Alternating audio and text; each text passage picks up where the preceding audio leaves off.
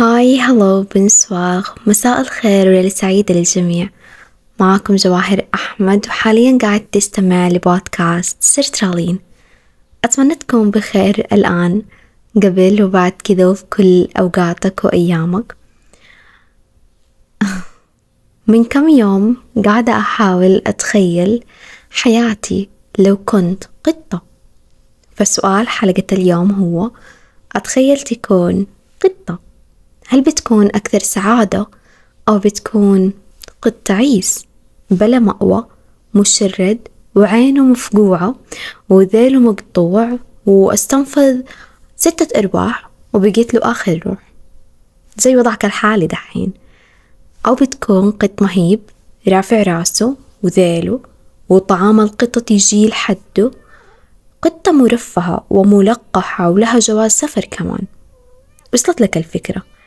ممكن تختلف أحوال القطط لكن مع كذا أتفق البشري على إنه القطط حيوانات مختلفة عن باقي الحيوانات. فالبعض يقدسها والبعض يعشقها البعض يعبدها والبعض يتشائم منها والبعض يتمنى يكون قطة. عاش البشر منذ قديم الأزل مفتونين بالقطط وطريقتها في الحياة رغم إنه لو جينا نطالع للقطط فهي ما تقدم أي خدمة للبشر. لا يحلبوها ولا يستعملوا شعرها أو وبرها أو صوفها ولا يستفيدوا منها في النقل. يعني اللي عنده قطة أليفة هي ببساطة مجرد عبء عليه. لكن أصحاب القطط ومربيها ما يشوفوها كذا أبدا بل على العكس يشوفوا إنه هذه الحيوانات ما تسوي أي شيء ما يخدم غرض معين ما يعطيها متعة فورية. يحسوا بإنه طريقة القطط في الحياة تلهمهم لأنها حيوانات حكيمة تتناقض حكمتها مع حماقتنا البشرية خلينا نقول. في البحث دائما عن مثل وأهداف ما نقدر نوصل لها. اشتهر القدماء المصريين بولعهم بكل ما يتعلق بالقطط وجل هذا بوضوح في الآثار الفرعونية اللي أخذت شيء من سمات القطط زي التماثيل العملاقة أو المجوهرات المعقدة التركيب وكانوا يحنطوا عدد لا يحصى من القطط حتى إنهم أنشأوا مقابر للحيوانات الأليفة. وحسب رواية المؤرخ اليوناني هيرودوت كان المصريين القدماء يحلقوا حواجبهم كمراسم حداد لفقدان قطة العائلة.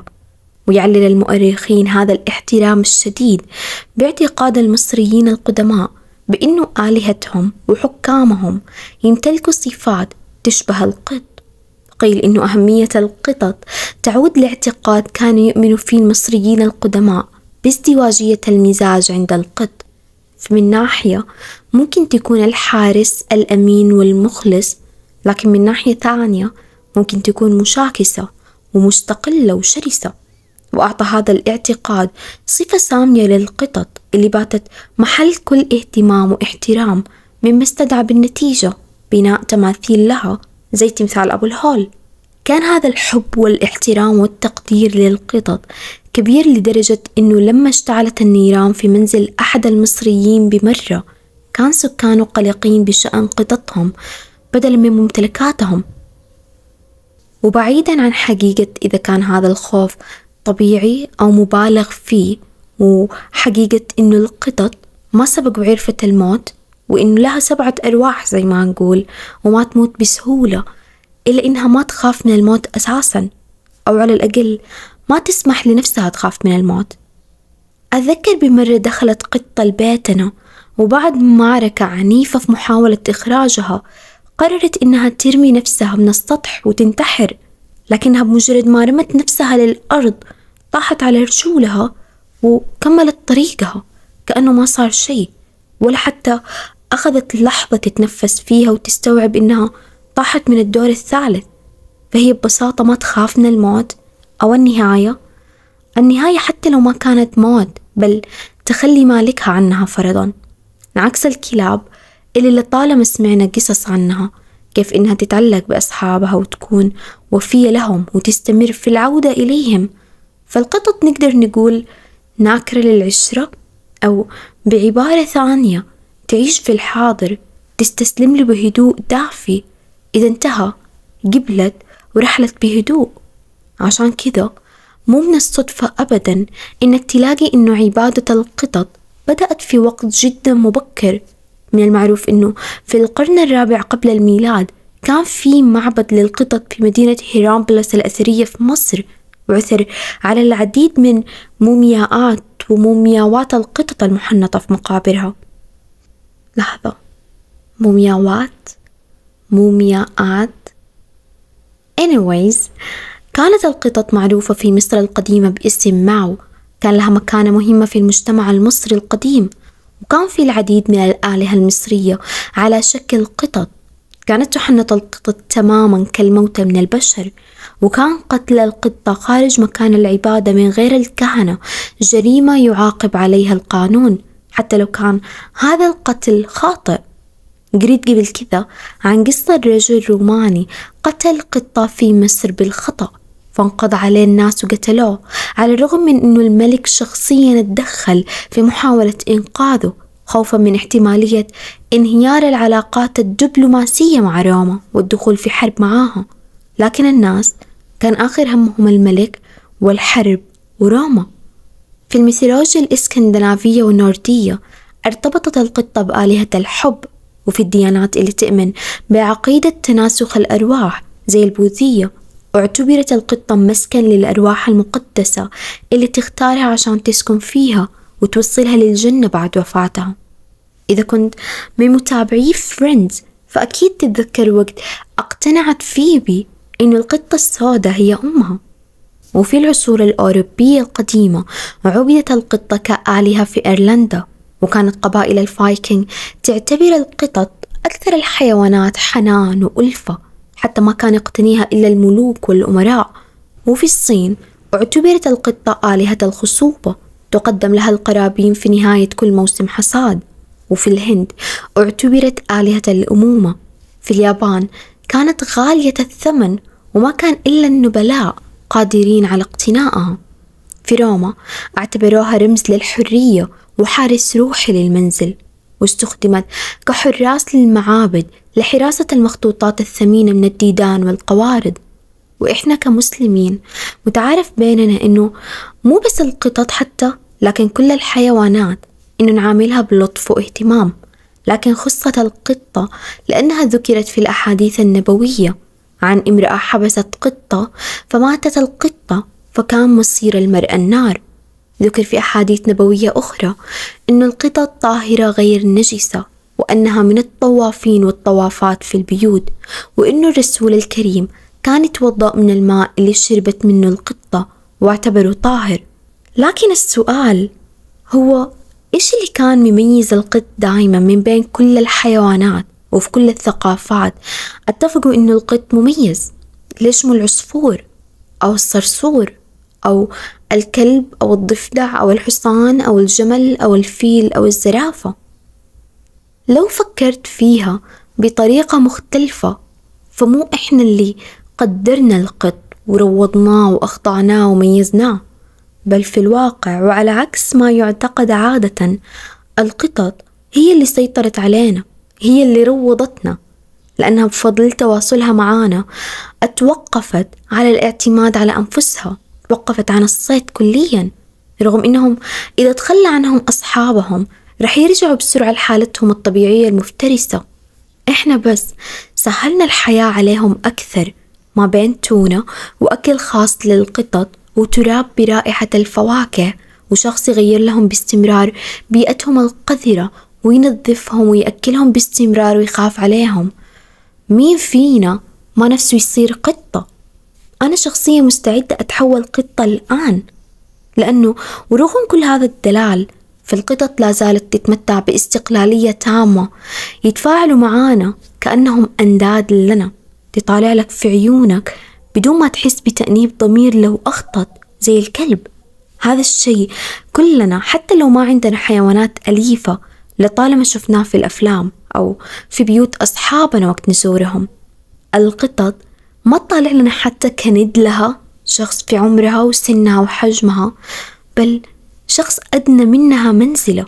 إننا الكائنات اللي نعشقها ونطعمها مو سيدها اللي لابد أن يطاع. ممكن يا يحبونا لكن يحبونا بطريقتهم الخاصة المختلفة عن بقية الحيوانات وقت ترويضها ممكن تبدو القطة وكأنها لا تروض. ممكن صح تتعلم تروح تقضي حاجتها في مكانها المخصص لكن ما تتعلم أبدا إنها تابعة لك. حاول تتذكر أي قط في أي فيلم جارفيلد مثلا قطة مغرورة رغم إنها فعلا ما تسوي أي شيء غير إنها تكون مدللة. دايما يصوروهم في الأفلام ككائنات مغرورة رافعة راسها لا تخضع للبشر لأنها لا تحتاج قادة. تلاقيهم ما يطيعوا ولا يقدسوا الأشخاص اللي يعيشوا معاهم رغم إنهم يعتمدوا عليهم إلا إنهم بشكل ما لا زالوا مستقلين عننا. يعيشوا حياة أخرى كأنهم يعيشوا في حياة موازية. إنه هي أنا مالكتك. أحترمني شوية على الأقل. جملة كنت دايما أسمعها من صديقتي وهي تكلم بيبسي. ألقط حقها. إنه إيش هي الحياة الموازية يا ترى اللي يعيشها بيبسي وبقية القطط؟ بيبسي اليوم كمل أسبوع معايا لأنه ماما رافضة أربي قط في البيت. فأشفقت على حالي وسمحت لي آخذ بيبسي لأسبوع. لكني أفكر إني ما أرجعه أبدا. في الوقت اللي أنا جالسة فيه في غرفتي خايفة وقلقانة من المستقبل ومتوترة من كل ضغوطات الحياة ألاقي بيبسي مرتاح البال. صح إنه ما عنده مهمات لازم ينجزها لكن على الأقل ليش ما يفكر بالوجود؟ إنه إيش جابه على هذه الدنيا؟ إيش هدفه في الحياة؟ إيش مهمته؟ ورسالته؟ كيف على الأقل يقدر يسيطر على العالم؟ لكن لا بيبسي مرتاح البال. لو كنت تمتلك قطة أو كلب أو تابعت على الأقل أحد الأفلام اللي تتكلم عن القطط والكلاب رح تشوف إنه الفرق الأكبر بينهم هو مدى هوس الكلب مقارنة بالقطة. القطة باردة إلى حد اللامبالاة تقريبا. بينما يبدو الكلب دائما بحاجة لنوع من التحفيز الخارجي. صارت الكلاب تقريبا أكثر إنسانية لكن ظلت القطط. قطط. علمنا الكلاب الخوف والحذر والقلق والتعلق فينا بينما ظلت القطط على حالها متأثرة بنفسها. حتى إنها ما تتعلق في البشر تعلق الكلاب ولا تحس بذاك الملل من دونهم. فين ما كانوا أيا يكن اللي يسووه فكل لحظة تبدو كاملة ومثالية. ليش مو قادرين البشر يعيشوا زيهم؟ ليش مو قادرين نشوف الغباوة في قلقنا؟ مع الأسف فإحنا البشر طالما ما نعاني من أي ألم أو مو قاعدين نعيش متعة فرح نحس بالملل غالبا. كل المتع زي الشرب والطعام والمسلسلات كلها تصير مملة بعد فترة. على عكسنا لو ما تلاقي القطط أي تهديد فرح ترجع لحالتها الطبيعية إلى شعورها بالرضا. إحنا البشر في كل مرة ندور عن هدف ثاني ومعنى ثاني ومشكلة ثانية ومعاناة من نوع ثاني. قد سبق وقال أحد الفلاسفة إنه قدر كبير من النشاط البشري هو في الأصل تحويلي. فإذا حطيت البشر في موقف ما عندهم أي شيء يسووه فرح يحسوا بالملل ويسووا أشياء زي المقامرة أو يبدأوا حروب أو أي شيء يهربوا فيه من حالة عدم النشاط. وتعتبر هذه حقيقة أساسية عن البشر. يعني إذا في فضائيين أو قطط أو صراصير يبغوا يغزونا فهذه المعلومات بغاية السرية. إحنا كائنات تطفش بسرعة وطفشها ممكن يدمرها. أكثر الأثرياء لما يحسوا بالملل يروحوا للمقامرة يحسوا فيها بالإثارة يعرفوا إنهم ممكن يخسروا كل أموالهم وهذه الإثارة توقظهم من سبات الحياة. يقضي البشر حياتهم في قلق مستمر من الطريقة الصحيحة للوجود على عكس القطط. العقل هو السمة الأساسية اللي تحدد إنسانيتنا. فإحنا حيوانات لكن حيوانات عقلانية. لا تفرح لأنه هذا العقل نفسه هو اللي ما يسمح لنا نعيش في سلام. نطمح دايما نوصل لشيء ما نعرف إيش هو. نفكر في المستقبل عشان نحل المشكلة اللي ما نعرف إيش هي ولا جات للآن ولا إذا كانت رح تجي أساسا أو لا.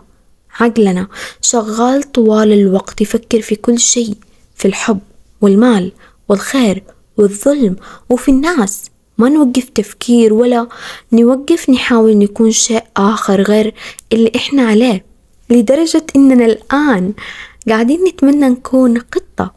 هذا التفكير والإدراك بحد ذاته يحبطنا أكثر. القطط على عكسنا ما تتطلب طريقة وجودها في الحياة الفلسفة أو لتفكير عقلاني. هم بس يعيشوا بطبيعتهم كأنهم يقولوا زي ما جات تجي. في الوقت اللي نسعى فيه بلا هوادة للسعادة أو شعر. في الوقت اللي نسعى فيه بلا هوادة للسعادة ما نعرف حتى إذا كانت السعادة موجودة لأنه أهدافنا في الحياة تقريبا لا تخلو من إنك تكون سعيد ببساطة صح؟ لكن لما تحط السعادة كهدف فهذا يعني إننا قاعدين نحط السعادة في المستقبل ذاك وقتها. لكن الحقيقة إنه المستقبل ما يجي. لأنه لو جاء بيكون اسمه الآن ولا زالت السعادة هدف مستقبلي. الفرق الجوهري بين البشر والقطط أو لربما أي حيوان آخر هو إنه الحيوانات ما تعيش في المستقبل. السعادة بالنسبة لها مو هدف أو مشروع أو حالة بعيدة تقترب منها ببطء بل هي ال default status الحالة الافتراضية. يلاقوا أنفسهم عليها طالما ما يتعرضوا لأي خطر أو تهديد. وهذا الكلام جدا مهم وهو تقريبا ملخص كل هذه الحلقة. إذا حددت السعادة كهدف أو مشروع فأنت الآن قاعد تحطها خارج نطاق وضعك الحالي. تحطها في مستقبل افتراضي ممكن تحققه أو ما تحققه. هذا يعني إنك الآن ساخط. ترفض حالتك الحالية لصالح الحالة اللي تخيلتها أو تمنيتها. ورح تظل كذا لأن أوريدي برمجت نفسك إنه السعادة مستقبلية مو الآن. بدون ما تستوعب إنك قاعد تعيش المستقبل اللي كنت مأجل السعادة له قبل فترة. هل يا ترى يفكر بيبسي بهذه الطريقة؟ أم إنه الآن قاعد يضحك علي إني مكبر الموضوع وهو بسيط للدرجة اللي هو قادر يستوعبها ويعيش وفقا لها؟ على عكسنا تعيش القطط في سلام طالما ما في أي مشكلة من حولها ما تدور هي عن مشكلة. كل اللي تحاوله هي إنها تدور عن الرفاهية في الوقت الحاضر. إذا قدرت يوم تلاقي طريقة تكلم فيها قطتك أو حيوانك الأليف فأظن إنه أول شي رح تقوله لك غالبا بعد أبغى تونة هو إيش هذا الغباء اللي عايشين فيه؟ إيش هذه العبثية؟ العبثية هذه هي اللي نسميها قاعد أفكر. مو قادرين نرتاح ألين نلاقي معنى للحياة يتجاوز وجودنا وعبادتنا لله. إنه صح إحنا خلقنا لأجل إنه نعبد الله بس إيش غير كذا؟ أكيد في معنى أسمى شيء خاص فينا. إنه أنا جواهر إيش هي الرسالة اللي خلقت لأجل إني أأديها؟ In short بينما يقضي البشر حياتهم في محاولة لفهم الوجود تعيش القطط بحرية وسرور. ما تهمها الرسالة بل يهمها الحاضر. ما يهمها المستقبل يهمها الآن. ما يهمها الماضي بل يهمها إنها تجاوزته. ولعل هذا أكثر من كافي بالنسبة لها. البشر اللي يعيشوا بهذه الطريقة مع الأسف ينظر لهم باحتقار واستصغار إنه إيش هذا الغباء واللامبالاة اللي أنت عايش فيها. هذه الحالة من اللامبالاة والسعادة اللي نختار نعيشها واللي هي ال default status عند الحيوانات حالتهم الافتراضية. تبدو للبعض لا مبالاة وتبدو للبعض الآخر غباء وسذاجة وتبدو للآخرين طيبة وتختلف وتكثر المسميات من وجهة نظر أشخاص آخرين. لكن الحقيقة تظل وحدة إنه أنا مبسوط أنا سعيد ومرتاح البال. أنا أخيرا استفدت شيء من القطط وتعلمت شيء منها. هل سبق وشفت القطط تعيش زي السناجب مثلا اللي تجمع أكلها وتخزنه للشتاء؟ أبدا. القطط ما تفكر تشيل هم بكرة. إذا عاشت بهذه الطريقة فرح تبدو للقطط الأخرى ك The Evil Cranky Village Witch ساحرة القرية الشريرة الغريبة الأطوار.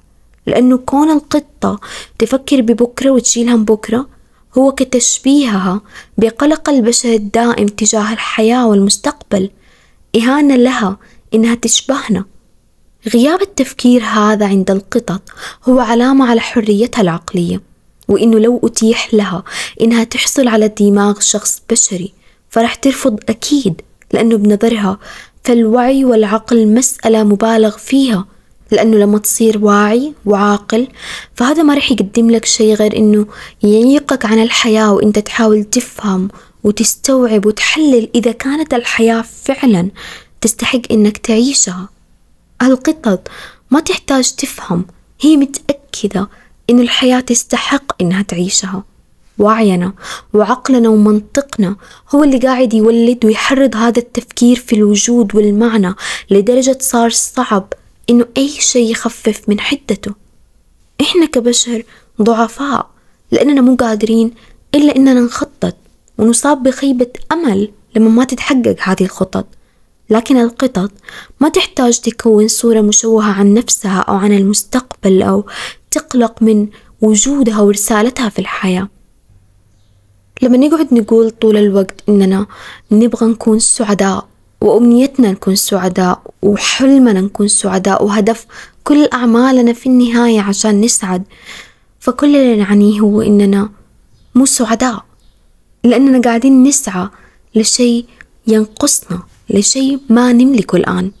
والسعادة دائما في المستقبل في الأفق. ننتظر إنها تصير في مرحلة ما. هذه السعادة اللي هي حالة اصطناعية نحاول نصطنعها إحنا البشر. هي الحالة الطبيعية عند القطط. القطط ما تحس بالملل أبدا. إذا ما لقيوا محفزات من حولهم راح يلتهوا بأنفسهم أو ينظروا حولهم أو يناموا ببساطة. تسعد القطط دائما بكونها اللي هي عليه كونها نفسها. بينما يتعذب البشر باستمرار في محاولة العثور على السعادة والهروب من غرائزهم اللي لازم يكبحوها وينكروها ويكرهوها. عشان كذا يمكن نحب القطط لأنهم مختلفين عننا تماما زي حبنا للأطفال ذاك الحب الفطري حتى الطفل غريب صادفته على كراسي الانتظار. تحب اختلافه الصادق عنك مو محاولة منه إنه يكونك. إنه يقلدك أو يحترمك أو يحتاجك. هو مجرد طفل يتصرف بفطرته وبصدق رغم إننا نعتقد إننا نعيش الحياة. لكن الأطفال والقطط لربما هم اللي يعيشوا فعلا بلا هموم ولا تفكير في المستقبل بلا لف ولا دوران بكل شفافية وصدق. ما أعرف إذا لي الآن تم اختراع جهاز يخلينا قادرين نتكلم مع الحيوانات لأنه التكنولوجيا قاعدة تتطور بشكل فظيع لكن لو حصل ووجد هذا الجهاز وقدرت تتكلم مع قطتك فأظن إنه نصيحتها راح تكون لك هي عيش اللحظة. لا تغرق في بحر من التشاؤم والقلق بكل الأشياء اللي يمكن ما راح تصير. الحياة مو قصة وإنت ما تتحكم في هذه القصة وبهذه الحياة لكنك تتحكم في كيفية تعاملك وتلقيك وردود أفعالك لهذه الحياة. الحياة نعمة. عيشها تماما كالأطفال والقطط. مو شرط تحب كل البشر فيها وتحب كل الكون. حاول تعيش بلا مبالاة أكثر تجاه أخطائهم. حاول تتغافل تتصرف كأنه ما شفت لأنه اللامبالاة والتغافل هي فضيلة. رح تعيشك بهدوء تغافلك عن اللي حولك يخليك ودود معاهم أكثر وتحببهم فيك أكثر. تماما كالقطة بين فترة وفترة أبحث عن المتعة لأجل المتعة. نام. إذا كنت تبغى تنام أتنزه لأجل التنزه.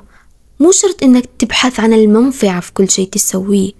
يمكن البحث عن المنفعة في كل شيء هو بداية إنك تكون إنسان عقلاني غير سعيد.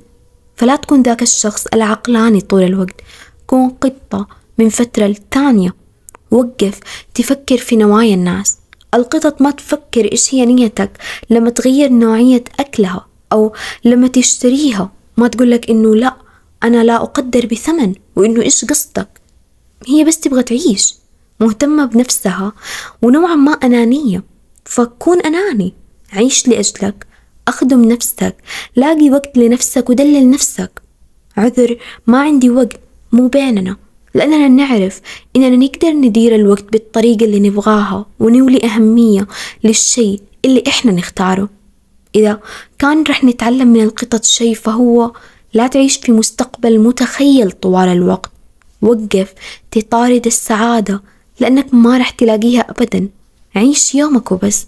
هذا الشيء اللي تملكه. لا تحاول تقنع أي إنسان إنه يكون عاقل وإنه يتفهمك وإنه ما يسيء الظن فيك. لأنه كل شخص يعتقد إنه معه حق وإنه الثاني هو المخطئ ورح يسيء الكل الظن في النهاية لأنهم هم يبغوا يسيئوا الظن. رح يتكلموا عنك لأنهم يبغوا يتكلموا عنك. رح يفكروا فيك بالطريقة اللي يبغوا يفكروا فيها وإنت مالك أي سيطرة عليهم. عيش بهدوء بدون ما تغضب من فظاظة الآخرين أو طريقة تفكيرهم عنك أو مشاعرهم تجاهك. لا تحاول أبدا تغير نظرة شخص لك لأنه مو شرط كل البشر يحبوك ويستلطفوك ويمسحوا عليك ويطبطبوا عليك ويداروا مشاعرك. في النهاية أنت مو قطتهم الأليفة. أحيانا حتى ما في أي سبب ولا معنى لتصرفاتهم معاك ورح تتعب إذا أفنيت حياتك تدور إنه ليش أتصرف معايا كذا؟ وليش قلي كذا؟ ما في سبب ولا في أي معنى. مو بس في تصرفاتهم نحوك بل يمكن في الحياة بأكملها. يمكن ما خلقنا عشان نأدي رسالة معينة. يمكن خلقنا عشان نخلق إحنا بالتالي الرسالة اللي نبغى نأديها بدلا من البحث عنها. تعيش القطط من أجل الإحساس بالحياة مو عشان تدور شيء تحققه مستقبلا ويمكن ما تحققه حتى. إذا ربطنا أنفسنا بشدة بالأهداف فرح نفقد متعة الحياة. ممكن صح يكون البشر هم أذكى الحيوانات على هذا الكوكب لكن هل إحنا الأكثر حكمة؟ الحكمة بعد كل شيء ما تتعلق بالمعرفة. لما نقول شخص حكيم يعني الشخص يفهم شيء عن كيفية العيش ويتصرف وفقا لهذا الفهم والإدراك. على سبيل المثال تعرف إنه غلط تصحى من النوم منفس على أمك وأبوك وأخوانك. تعرف إنه غلط مع كذا في كثير من الأحيان لازلت تتصرف بهذه الطريقة الغلط وتنفس عليهم كل صباح. المشكلة مو في نقص المعرفة بقدر ما هي نقص الحكمة. إذا كنت تبحث عن الحكمة فراقب الحيوانات العفوية والمرحة والراضية بكل هبة تقدمها لها الحياة المنغمسة في الحاضر لدرجة إنها ما تشيل هم بكرة. القطط مو فريدة كليا في هذا الموضوع وغالبية الحيوانات إذا مو كلها تعيش بنفس الطريقة. لكننا اليوم نأخذ القط كمثال لأجل بيبسي لأنه القطط هي الأكثر تواجدا من حولنا والأكثر قرب لينا. إحنا البشر ورغم إنه نعرف الكثير من الأشياء لدرجة إنها صارت تبدو كبديهيات إلا إننا لازلنا نتمسك بعاداتنا. وآرائنا ورغباتنا الخاصة لها دائما الأولوية نتمسك بتنفيس الصبح وبالندم وتأنيب ولوم الآخرين على حياتنا الآن. نتمسك بالقلق والخوف من بكرة رغم إنه ندري إنه بكرة ممكن يصير أو ما يصير. ممكن يجي بالصورة اللي تخيلناها وممكن ما يجي أساسا. ممكن نموت اليوم. مع كذا نرتجف من الخوف بمجرد التفكير في بكرة. ونبدأ نحسب تحركاتنا ونلاحظ كل التجارب اللي مرينا فيها ندقق ونتفحص ونفتش عن التعاسة لأنها ولا بد راح تكون الحكمة هناك. بعدها راح يتحل كل شيء ويتغير كل شيء وتتغير الحياة. خايفين من فكرة إنه كل اللي مرينا فيه ممكن ببساطة يكون من دون معنى. نقرأ ونبحث ونسمع لعشرات البودكاست ونقرأ كتب ونستمع لقصص وتجارب الكثيرين لأنه بطريقة ما نحس إنه هذا يساعدنا في إزالة بعض الضغط من فكرة إن كل شيء صار معانا كان بدون معنى وكل مأساة مرينا فيها ما كان لها أي معنى. لكن لما نسمع قصة شخص ثاني ونسمع التفاصيل الصغيرة المأساوية والتحولات في نهاية قصته نقدر نحط إحنا بالتالي معنى المآسينا. معظم عذاباتنا تجي من هذا الضغط عشان نلاقي معنى لكل شيء يحصل. فلازم نتبنى نوع من الرضا والقبول والتسامح مع فكرة إنه ما كان لشيء معنى. المعنى اللي أقصده هو إنه مصايبنا وآلامنا وفشلنا مو شرط كلها تكون ما قبل النجاح مباشرة. نلاقينا ننتظر بعد كل مصيبة. ذاك الفرج السحري والانقلاب في حياتنا نقطة التحول السحرية. وما نلاقيها. تجينا فكرة إنه طيب إيش الهدف من اللي صار معايا؟ إيش الدرس اللي من المفترض أكون اتعلمته وإيش الجزاء لصبري وفين عوضي؟ عوضك على الله. نتخيل إنه في وقت رح نعيش في عالم آمن من المصايب والآلام والحوادث لأننا قاعدين اوريدي نعيشها الآن. نحضر لذاك المستقبل الكامل اللي لطالما سمعنا عنه في قصص وعاشوا في سعادة وسلام. مو قادرين نكون قطط ولا نعيش بحرية زي القطط ولا في تقشف زي حياة القطط. لأنه ورانا التزامات لازم نفكر فيها ومستقبل لازم نخطط له وحياة كاملة لازم نعرف كيف نعيشها لأننا نبغى نعمل كأننا نعيش أبدا. ما في شيء أبدي ما في عالم كامل ومثالي ما في عالم بدون ألم ومرض وحوادث. نعاني مع فكرة إننا نعرف هذه الحقيقة كمان وعلى الأغلب رح نعاني مستقبلا كمان. ويمكن بدون أي هدف ولا معنى والأجل لا شيء. رح نعاني لنعاني ونتألم لنتألم ونعيش لنموت. نكافح مع فكرة إنه ما في معنى خفي. ممكن نلاقيه بين السطور ونصير نحسد كل كائن أيا كان على لا مبالاته بالوجود والمعنى. الأطفال الكبار في السن الطيور والقطط والصخر والحجر والبحر. كيف أكثر الأنظمة المتطورة في العالم؟ عقلنا لا زال قادر على تركنا مع قدر هائل من عدم اليقين. نصيحتي هي أرجع لعالم البشر. لا تكون قطة. أتعلم من القطة اللامبالاة والهدوء وبعض الأنانية وعيش كبشري. أستمتع. كل. أتكلم. وحب وأخرج. وأتمنى. وأشتغل.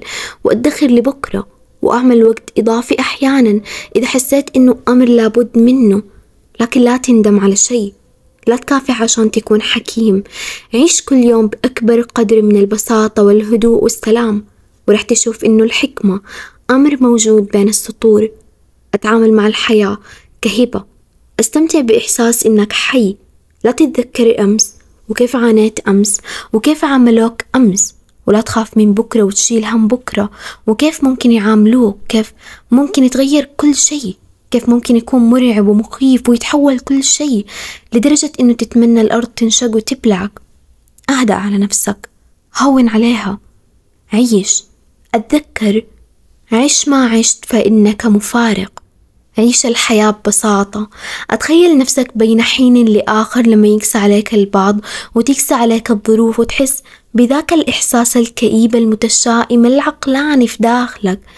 أتخيل إنك مجرد طيف عابر جيت لهذه الحياة بس عشان تاخذ فكرة عنها. حاول تفصل نفسك عن الموقف تماما وأتذكر دايما إنه ما رح يدوم. الحياة الجيدة والمثالية مو الحياة اللي عشتها أو يمكن تعيشها لكنها الحياة اللي قاعد تعيشها الآن. يمكن تكون قطتك الأليفة هي معلمتك بهذا الخصوص لأنها ما تفكر بالحيوات اللي ما عاشتها أو رح تعيشها. إحنا كبشر نقلق ونكبر المواضيع ونشيل هم ونخاف ونستحي ونشفق على أنفسنا. لكن جنبا إلى جنب مع هذه المشاعر فإحنا قادرين نحب ونكتب ونرسم ونسبح ونجري ونلعب كرة قدم وكرة سلة وتنس ونركب الخيل ونركب الدراجات. قادرين إننا نعيش حتى بمتعة أكبر بكثير من القطط وكل الحيوانات. فليش ما نعيش بهذه المتعة فعلا؟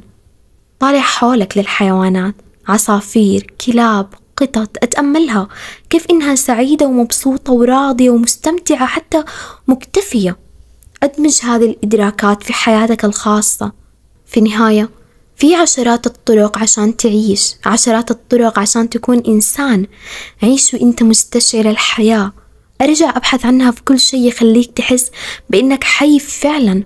مو لأجل القصة اللي رح ترويها بكرة عن حياتك لكن عشان ما في شيء يخلينا نموت بينما أتيحت لنا فرصة الحياة. لا تاخذ أي شيء على محمل الجد لذيك الدرجة. بما في ذلك هذه الوصايا. كلم قطتك. إذا ما عندك قطة أخرج للشارع. رح تلاقيها مرحة وعفوية وحكيمة. مستمتعة وغير مبالية ورح تغار منها. لكن أتذكر إنها في الوقت ذاته تغار منك ومن كل الفرص اللي تملكها أنت وقادر تستمتع فيها. وبس هذه كانت حلقة اليوم. أتمنى تكون استمتعت فيها. تكون رسيت على بر أي واحد فيهم بتكون. قطة أو إنسان أو أنت بدون مسمى إذا حاب تغمرني امتنانا فتقدر تقيم هذا البودكاست على أبل بودكاست وتتابعني على صفحاتي في مواقع التواصل الاجتماعي وإذا حاب تتابع المزيد من محتواي رح تلاقي أكثر على قناتي باليوتيوب Thank you for listening. Bye.